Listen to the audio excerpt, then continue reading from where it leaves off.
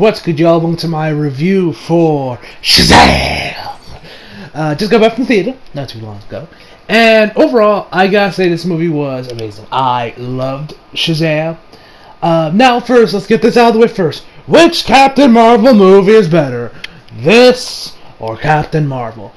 I will have, I honestly will say, I have to give the slight edge to Shazam. I thought it was a bit better. Um, I thought it was a bit better. But so I'm sure that so yeah, you know, rejoice DC fans as me a Marvel fan knees bows down to our DC overlords. Uh, DC is now beating the MCU and something.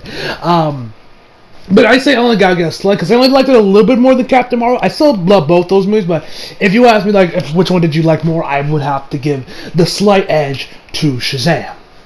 So let's get into this. So the movie is so the movie is directed by David Sandberg and stars Zach uh, Zachary Levi, um, Asher Angel, Jack Dylan Grazer, Mark um, uh, Mark Strong, and many more. So the plot of uh, Shazam, I was about to call Captain Marvel. Which, in case y'all don't know, you're wondering, like, what the hell are you talking about Captain Marvel? Shazam used to be called Captain Marvel back in the day, in the early days, was comic book. But through legal shenanigans, DC lost the rights to D- to Captain Marvel. Marvel instantly scooped that shit up. Hence why, you know, Shazam is called Shazam and Captain Marvel is called Captain Marvel. Uh, and so, so as I say, so the plot of the movie is that Billy Batson is a 14-year-old foster kid. He's on the run. Well, not okay. He's not on the run, but he's looking for his mom. He's constantly been he's been he's been constantly like leaving and running with from foster homes, trying to find who his mom is. Has some run with the police, and then who he's then to led to this new foster family. They he has you know, so they got a new family, and while this is all going down, he ends up meeting this wizard, and of course is then bestowed the powers of Shazam, and of course, it goes from there. Um, so first off, let me tell the cast. So I gotta say, Zachary uh, Zachary Levi, he did amazing. you know, even the cast they call him Captain Marvel in here. I'm looking up the cast on Google, and they say right who's playing. It still says Captain Marvel. I just find that funny. He was great. The jokes, the humor was great with him trying with him embodying like this 14 year old kid who hasn't really had anything really great in life, just been sold all these awesome powers. And, and as he tries to act like an adult, it's really humorous. Like there was this one scene uh, that was kind of showed off in the trailers a little bit, where he's at the gas station. He says, "I'd like to purchase some of your finest beer, please." Like stuff like that was fucking amazing. There's also this one scene where it's like, "Damn damn damn," you know, and you know they got the little lightning stuff. Um, that was amazing. Um, um, the um, um, the um, Asher Angel, who plays Billy Batson himself, did an amazing job. He was fantastic in the movie. I love what they did with him. He was great he was definitely a great job. I thought he was great at. Uh, but the kid that plays uh, Freddy, hold on, where is he? Okay, Jack. Yeah, Jack Dylan Grazer. He was probably my favorite part in the movie, honestly, because this dude also reminds me a lot of Izuku Midoriya from Hiroaka as his fanboy, but instead of like you know uh, or Miles, how he is in Spider PS4, where Miles in Spider Man PS4 is a massive Spider Man fanboy, Izuku's massive uh, hero fanboy of the heroes in Japan, and here he's a massive fanboy of DC heroes, and he, every time we see him on screen, he's always wearing a DC related t shirt, whether it's a Superman shirt, which when I saw that, I was like, I'm now more excited for this movie because, of course, he's rocking the Man of Steel. When I saw the movie, I was also rocking a t shirt of the Man. So you'll see him rocking a Batman t-shirt, a couple Wonder Woman t-shirts that look really, really cool, and I want one of those Wonder Woman t-shirts, and an Aquaman t-shirt as well. Even got some memorabilia from the different heroes, like he actually has like a replica Batarang, uh, has a bullet that was that apparently was that was shot uh, to Superman, which of course deflected. He has that and some other stuff, man. It's, it's really cool. He was my favorite part of the hero because uh, he was a lot. He reminded me a lot of me as this massive DC fan, but of course me, I'm a Marvel guy. So yeah, uh, he was the best part of the movie in my personal opinion. The rest of the cast do a great job. Um, who else? Let me see who else we got here. Um, Mark Strong, uh, no, no, uh, Cooper a- Andrews. This dude was amazing. Like he was definitely like the I would say like one of the emotional parts of the movie. Like he's like the warmest soul you will ever seen. Ever like this dude is so caring. He has so many different other foster kids he adopted. There was like three or four others. Oh wait, but there was one. This one kid here. Uh, I'm trying to see if I can remember his. Uh, see if I can find him here. Ah man, I, I, don't see him on here. But there is uh, Ian Chen. I think that's who he is plays Eugene. He's this Asian kid, and my God, was he so fucking hilarious! Like this dude is the most the like most cliche gamer you'll ever see. Like this man is like he like the man's out here playing some FPSC like and he streams like trash talking two cell like die die and other stuff and then and then you know um uh, Co- Cooper comes in there. He's like, "Hey, kid, it's you know it's after dark." And he's like, "When did it become after dark?" I'm like, Jesus fucking Christ. There was this one time where it says, "Oh yeah, because I played Watch Dogs, I might have hacked into some federal, uh, some federal systems." There's other times where it's like voting Mortal Kombat, or it's like, or, or it's Street Fighter. It's fucking hilarious. He was probably like him and he, like him like him and um, Jack, those two are like without the highlights in the movie for me. They were so amazing. I love those two. I'll get more into other stuff that's happened with these guys in the spoiler section of this review. Um, and yeah, the rest of the cast does a pretty good job. Problems I have with the movie, uh, the comedy was really, really good. I would, I think I kind of like the comedy in Captain Marvel a little bit more, but that's just because Marvel has comedy down to a science, and plus Goose Goose was all was like the best part of Captain Marvel. So yeah, uh, I so I think I, I like the comedy a little bit more in that one, but uh, also like I said, Zac Efron, uh, not Zac Efron, Zach Le- uh, Zachary Levi's, uh, uh, the rest of the cast did a banged up job. Um, I liked how self-aware this movie is. Like, this is definitely a movie that's very self-aware of the superhero genre, and I like how uh, where there's so many different times in the, throughout the movie where they kind of like poke fun at other superheroes. Um, and another thing I love about this movie was I love how we really like this is really the first movie in the DCEU, which, which I'm yes I know it's now called the Worlds of DC, but this Aquaman and Wonder Woman '84 were all made when the DCEU was still a thing, so I'm going to call this the DCEU uh, till you know after those movies are done. Uh, where we really see how the effects the DCEU have really affected the larger um, or the, the events of the other movies have really affected the main universe because um, like like after after Avengers we saw how that has had, had an effect on the rest of the here uh, the rest of the MCU like in um, where we see like people holding figures. Uh, of course you know there was parts in Jessica Jones season two which talk a lot which is probably the most references to the main MCU we've seen in any of the Netflix series so, like I said, the kids rocking like there's people rocking Batman backpacks, Superman bag, which also uh, Freddy was also rocking a Superman backpack. Respect there, brother. Respect repping the Man of Steel. Now, where the hell is Man of Steel 2, Warner Brothers? Huh? Give me Man of Steel 2 already. Come on. Give me Man of Steel 2. Anyway, enough of me, enough of my rant. Um, yo, I like how we see how the effect is. Like I said, people wearing you know DC related merchandise. We see action figures toys, b- backpacks, t-shirts, a whole nine yards. I love that we're really starting to see the bigger effects and how it has on the main world of what has happened in the DCEU. So that was great. Um, what else? Uh, the fights were pretty good. I really dug the fights that were in this movie. The soundtrack eh, was actually pretty good. There was a nice couple tracks that got in here. There was even a Queen song that was also playing here too, so that was pretty nice. Um, yeah, that's about it for I have really for positives. Like I said, the cast was great and everything. But now let's get into the negative. Oh, and also one thing I gotta say.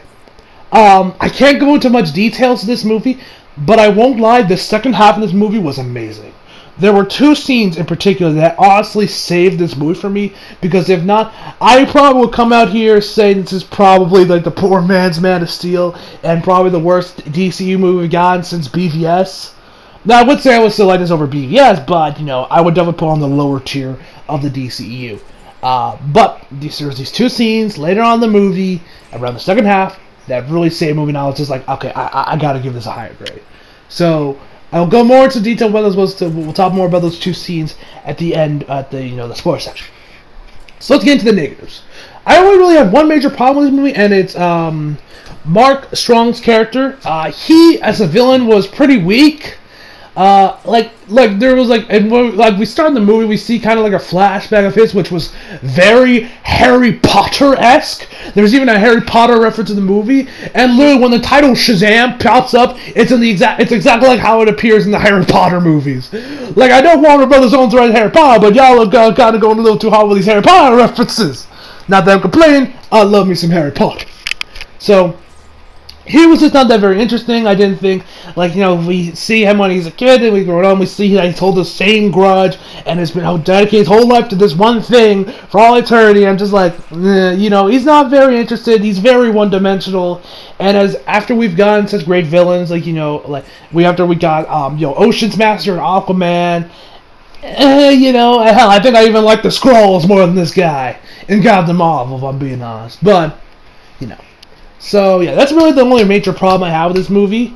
Uh, besides that, overall, I would definitely recommend this movie. If you're a fan of Shazam, I definitely say this is probably definitely going to be. I definitely recommend you guys go check this movie out if you haven't already. If you are a fan of the DCEU, definitely check it out. And if you're a fan of the MCU, but you're not really a big fan of DC movies because you find them too dark, I'd say give, definitely give Shazam a watch. I think this is going to be a movie that a lot of MCU guys, MCU fans that don't really like how dark and gritty the DCU movies are, they'll probably really this movie because this is probably like the most MCU DCU movie we've gotten, but I wouldn't say it's um, like on the same quality as most MCU movies. If I if I'm being honest, and the comedy is great. It's definitely more of a comedy, but it ain't like Thor Ragnarok comedy where you know it's not like that kind. of... It's not as much of a comedy as that one was. If if in my personal opinion anyway. So overall, I would give Shazam a 9.5 out of 10, guys. So let's now begin in the sports discussion in three, two, one. Excuse me. All right, y'all is still here. So let's get into the um, spoilers. So we start this movie off. We have um, this is when we see um, you know Mark character, strong character's backstory. He's a uh, you know it's like kid fighting with his like this magic eight ball, and you know his brother's like you know you know it's like why do you keep playing with that? And, you know they get into an accident. He meets the wizard Shazam or whatever the wizard's called, and um, when he gets there to like see if he's worthy of being of bestowing power of him, he he uh, puts a test where he has like this ball over here as the rest of the devil's seven uh, seven deadly sins. But I gotta say, the CGI, the seven deadly sins, was also really good, really good. Oh, and I also forgot to mention, ah, crap. There's both the post credit scene and end credit scene. I meant to to mention in this spoiler free discussion, but in the spoiler free uh, review part of the review, but you know, eh, yeah, it's a DC movie. Everyone's gonna say over the credits. Most people are anyway. To what I was saying. So he ends up failing the test instantly. He goes over to touch it, but you know the you know the, the wizard's like, "Nah, man, you ain't worthy of these powers. Be gone." So he gets rid of him, and then he gets in a car accident. I thought his dad legit died here, but he ended up just losing his legs. And from there, he has his whole grudge against his father and brother for what happened, and he's now made his life's work to get back right back into where the wizard to get back there. So he has this whole thing where we got people over here be like, "Oh yeah, I met this wizard." Like I said, this is when the Harry Potter reference comes in there, and other stuff. And then we see this room, and it's covered with symbols and everything as he's trying to figure out how it gets there and everything. Um, but let's get into like the main things that I want to talk about: the two scenes. The two scenes in this movie that really made Shazam for me. So let's let's talk. First off, when Billy Batson and his mom reunite. Because as we know, throughout the movie, he, you know, is looking for his mom. He tries to go over there to find a woman named Rachel. She finds her, and it ends up just being a black woman, which I thought that scene was pretty funny. Uh, and there's also this one time where he finds where he like where he like kind of like uh, sneaks into like a police car, trying to use their computers to figure out where his parents are. Uh, like you know, he's a bit of a detective out there. And that scene was also pretty cool, and funny with the cops. Uh, but when he finally realizes, this is when um, Ian comes out and like, yeah, I played Watchdog, I've hacked into some federal, you know, systems, you know, to find this. Where we find out that her mom went back to her maiden name. He goes over there and it's of course in this like you know dingy apartment complex. There's shit going on all over the rooms and everything. Oh, there's this one scene. oh, there was this one scene. Oh my god, I was dying so much. Where he goes into like this place called Gentleman's Club, which I'm pretty sure that was a strip club. I could be wrong. I'm pretty sure that was a strip club. He goes in there, and of course, you know him and Freddy go in there. Freddy doesn't really last long. He gets some wings, and then they leave. But when um, Mark Strong is coming out, which I love this one joke. There's this scene where Mark Strong is doing this whole speech like, I will defeat you and eat your eyes and everything. But since they're like a mile away from each other, you know, Billy can't hear a word he's saying. And I just love that joke and how far he's like, brother, I, he's like, bro, I can't hear you. You're a mile away from me. That scene was so fucking funny. Uh, so it's getting, getting, getting distracted. Um, So he gets there, uh, meets his, and knows. Oh, one last thing about the Gentleman's Club. There's another part where he's chasing them down after they went after they went inside there. After they went inside, uh, back into the to the lair, they go in there, and when they do, he says, you know, think of a place to work gets out there. It's the gentleman's club, and this, they have this little, you know, there's a, like the little girl, which I don't know what her name was. Her name is slipping my mind at the current moment. Um, it was like Deborah or Dar, Dar, Dar Darlin, Darling. I don't, I forget her name. She's like, you have the older sister cover your eyes as they get out of there, and he's like, really, this is what you picked for what the thing? Like, I'm sorry, and then she sees that there's some glitter on Billy. She's like, "Oh, I want some glitter." She's like, "Not from them." I'm like, "Brother, what the hell you were you doing in there, man?" then she made me die. But as I was saying, so they get over. So he gets over to his mom's place. When he gets there, he knocks on the door. His mom comes back. He's like, "Hey, mom, I made my way home." Shows her the compass and everything, and we find out why she, why he never found her mom. It's because and why she never ended up looking for him. It's because when he was actually when the cops got him, she saw him there. But since she was only 17 years old, which, whoo, yikes! And it looked from her like her baby was pretty big, so at least two, years, like at least one or two years old, maybe even four or five. So she was young when she had him. Um, she looked like she had him in like maybe 15. Woof, yikes! Anyway, so when she so when she found him there, she ends just leaving him because she thinks that they would have done a better job raising her raising him than she could. So she straight up abandoned Billy when he was young because she didn't think she could handle the responsibility. And that whole scene there, the emotion was there, great stuff. That scene was And so there was another scene. This scene when I was like, God damn it, why do God damn, why can't I get another Superman movie? Uh, there was this one scene around the end of the movie where uh, Billy is then thrown into like this little like area. There's a father and daughter sitting there as they're kind of huddled together. He hands her this tiger, which is like the stuffed animal that he won when he when he when his mom was doing a little like a dart game. It's like here, hold this, hold it tight, and I was just like, God damn it, why don't I get another Superman movie, man? And I already know people are going to come out here and be like, oh, this is the true Superman movie we should have gotten from the start. Man of Steel is terrible. There was too much destruction. Never mind the fact that Avengers came out the previous year and they were not complaining then about the destruction. Like, who the fuck complains about the destruction of a superhero movie? Two, two Kryptonians are going out. No shit, shit's gonna fucking blow up. And, and they're like, oh, Henry Cavill Superman was terrible because he is not like the god Christopher Reeve from the 70s, where he is wasting time saving cats from trees and is completely unrelatable. I have made so many videos and talked about so many times why I hate the 70s movies. Man of Steel, should maybe gave a shit about Superman. Now he's one of my favorite heroes. And I'm and I'm already starting to break a sweat here, getting kind of angry. So I'm gonna make sure before I before I before I like know, faint or something from how angry from how I'm getting, I better you know just stop here while I'm while I'm ahead. So you know, like I thought that scene was also great. I was just like, fuck man, I want a Superman movie. I want another. I want a man. I want a Man Steel two. Because you all know I love Superman. Um, so there's also this other part around the end of the movie where we see Superman actually appears.